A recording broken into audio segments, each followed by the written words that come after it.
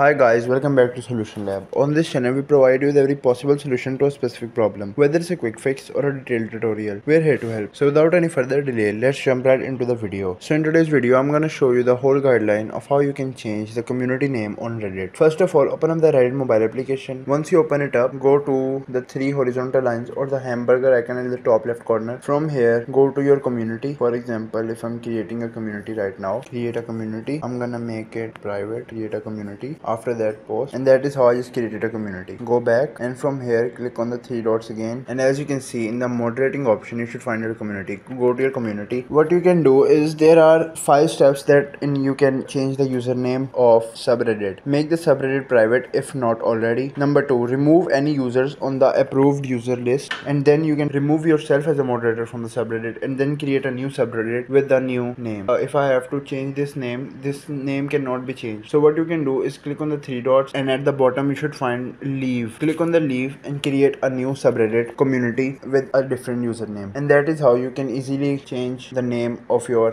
reddit community. I, I hope this tutorial was helpful. If it was please give it a thumbs up and consider subscribing to solution lab for more helpful tutorials. If you have any queries or suggestions leave them in the comments below. Till then take care. See you next time